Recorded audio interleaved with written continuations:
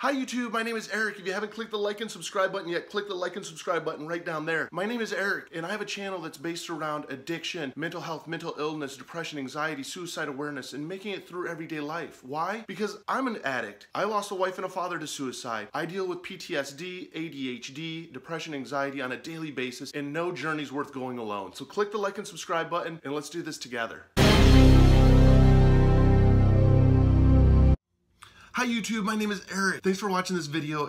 This is probably the most sensitive and, and, touchy subject that I've, I've done a video on yet. And that is what my thoughts are on monetization and making money when it comes to mental health, mental illness, and sobriety. Let's face it, a lot of us on YouTube, we are not uh, doctors, we are not counselors, we are we don't have a degree, we share our life stories. And now don't get me wrong, there's a ton of knowledge and a ton of tools and information that can be gained because we might not have the degree, but we have the fucking scars to show you what we've been through and how we've done it and maybe some tools that work for you because let's face it, I'm a recovering addict. I have my recovery date 725 17. I've been almost a, a little over 18 months sober. I deal with uh, uh, anxiety and depression. I've been diagnosed with ADHD. I've been diagnosed with PTSD. I lost a wife and a father to suicide. Uh, depression does run in my family. So I have been to many psychiatrists and psychologists. I, I still go see them because I do need my prescriptions filled. And I also do need people in my life to kind of bounce ideas off of and possibly other tools. Just like with this though, it's finding those tools that work for us. And let's face it, I've been to a lot of bad doctors out there, unfortunately, have tried to push different things on me, such as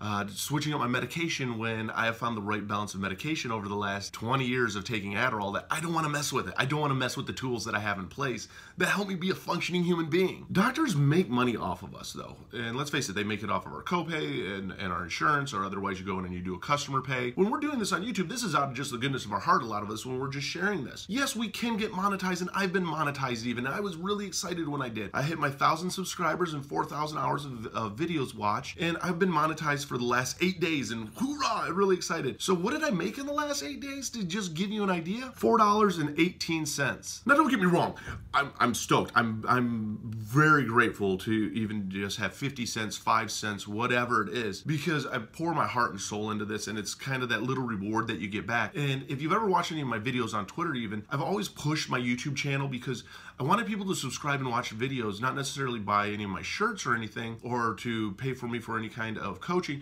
because I wanted ads to pay for it. I wanted bigger companies to essentially pay for it so I could offer services essentially for free. So when it comes down to the three, mental illness, mental health, and sobriety, I'm gonna clump them and separate them a little bit. I'm gonna do mental illness and mental health over here, and I'm gonna do sobriety over here. Here's why. Let's start with sobriety first.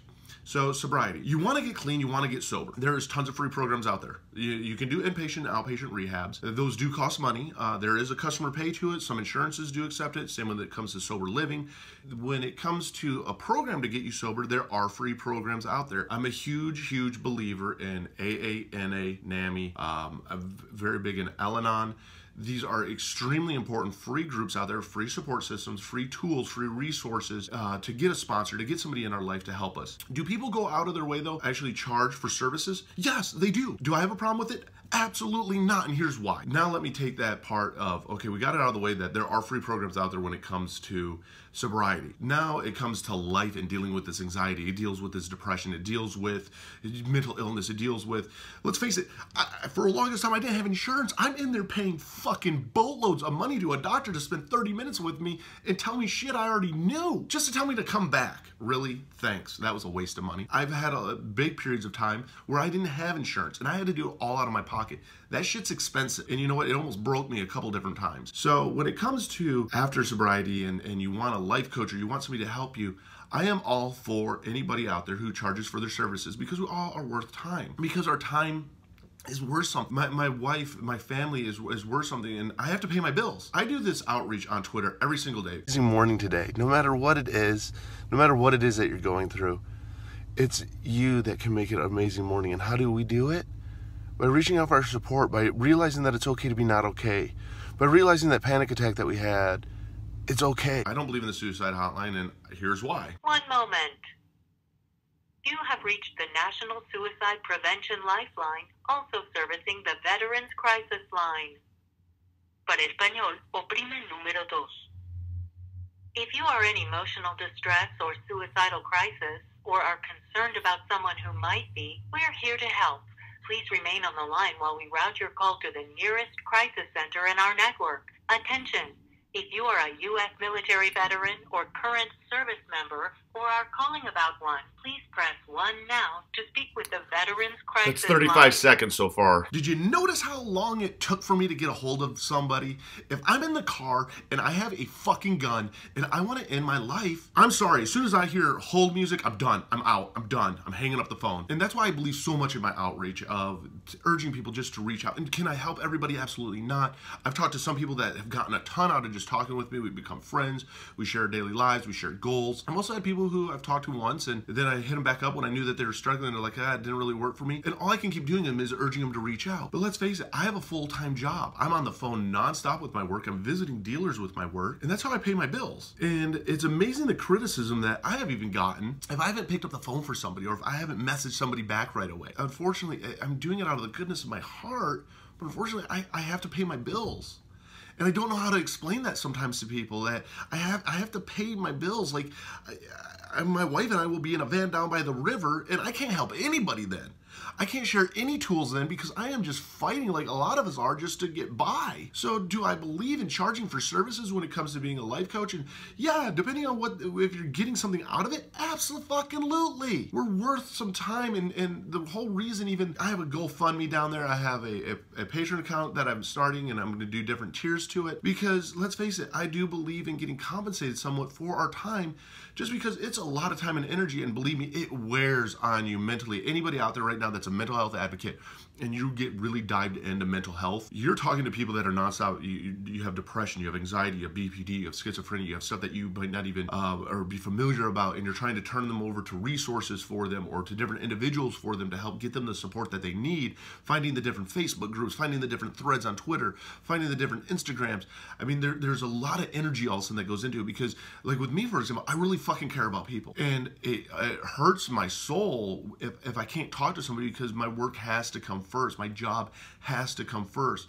And I've had people mad at me because my job had to come first. I get accused of not caring for people, but yet I have to pay my rent. I have to pay my car payment. I have to pay my bills. Do I believe in being monetized? Absolutely. If somebody wants to help somebody with the 12 steps and take it a step further and take them to the next level of life of let's set goals. Here's how we start changing our outlook on life because let's face it, like with me in sobriety, when I got sober, life changed for me. It took me probably a good six months to readjust to life. And sometimes you can't get a hold of your sponsor. And sometimes that's why you, you meet other people in AA meetings so you can get a hold of somebody, or you get on a Discord group so you can get a hold of somebody. So if you do actually pay for somebody's service, I guarantee you this, they're, they're picking up the phone. They might not be able to give you the best resources. And again, that's where it comes down to. This is all of my own personal experiences that I'm giving you of finding the right person that works for you. Again, I'm not a doctor, I'm not a counselor, I'm none of that. I'm just sharing with you experiences and getting hold of that right person. I, I believe me, if somebody has, has donated to me and, and, and they help sponsor me, that person gets all the time in the world. They want to FaceTime me, FaceTime me. They want to talk, talk because you get my time because you're helping me. I'm going to help you as much as I can. And it's also really awesome to see people who are doing very well that are able to even do that and and and to give money out like that. In, in the sense, I look at it as like a church. You know, everybody donates on, on Sundays at churches and pass the uh, the basket along. And why do we donate? Because it's our place of worship. It's our place of, of going. It's our place of religion. And we want to see it grow. We want to see it blossom. Just like with this, if, if you want to see other people help, it's so important that that we fund those projects. And it's not a plea. I, I don't give a shit if anybody donates money to me or not, because I'm going to still continue to do this. But for those that are out there that are doing it and that do ask for money, I have no problem with you doing that. Now, I do have a problem when it comes to manipulating the system. I do have a problem when it comes to making money off of people in the wrong way. And what I mean by that is putting up a bunch of pointless videos that don't teach you shit. I'm not going after the tools. I'm not giving any substance in any of the videos that I produce. I, I'm, I'm pushing my products on you. It doesn't help anybody. But you know what? If, hey, I offer this in the background, why not? If you believe in that person, support that person. Believe me, it comes back a hundred times fold. And that's what I always believe in paying it forward. I sponsor a lot of different people out there. I sponsor a lot of people in, in suicide walks. I give away a lot of shirts. And I've been accused even with my suicide awareness shirts that you're making money off of mental illness. No, I spend $1,500 when I get a, a group of my shirts, and that's 10 uh, shirts of each size of each color, and I only do black and white. And I give those shirts away left and right. That's out of my own pocket that I don't ask for any money back. And I'm not a nonprofit organization. Try to recoup that a little bit, yes. And have it delayed in me giving people shirts? Yes, it has because I don't have the funds at that time. And I have to do it around my paychecks and around my own bills. So somebody out there who's offering your, their services, if it comes to mental health, mental illness, they're not necessarily are they trying to take advantage of that community. They're trying to help that community as much as they can because when we are able to help ourselves a little bit, we can even give more and we can push more and we can push harder and, and it gives us that reason to fight. Just like at work, if you get a raise, you're proud of that and you're, you're going a little bit harder, at least for a while. Some of us, maybe not all the time. So is it wrong? In my opinion, no. When it comes to mental health, mental illness, no. Because I know a lot of individuals out there that give better support, better tools than what a lot of doctors do, and you're paying doctors lots of money. Don't get me wrong, go see the right doctors too because doctors also can prescribe medicine they know what they're doing also when it comes to the book wise of it of how our brain works and the chemicals work which a lot of us don't so seeing a doctor yes absolutely why not if you found somebody who you want to hire them on as a life coach why not there's nothing wrong with doing that. And I guarantee you, probably get a lot more out of that person than what you're going to get out of a doctor. Because what do you see your doctor, what, once a month? That's what I do. And I'm dumping them how much money? But I am getting my prescription back, though, in return. So I'm not bashing anybody, but I want you to know that there is a viable reason for people out there to charge for their services. And if you think that they're charging you to get sober or somebody's charging somebody to get sober with AA, that's bullshit. Nobody does. If we're true AA, they do pass the basket around. And I always throw in a $5 bill even when I am broke, because I believe in that program so much. And I believe in what it's done for other people. And so if you find somebody out there and you believe in them that much, why not? Why not help sponsor them? Sponsor the people that are you, you're getting the benefit out of. Why not? Is all I'm saying.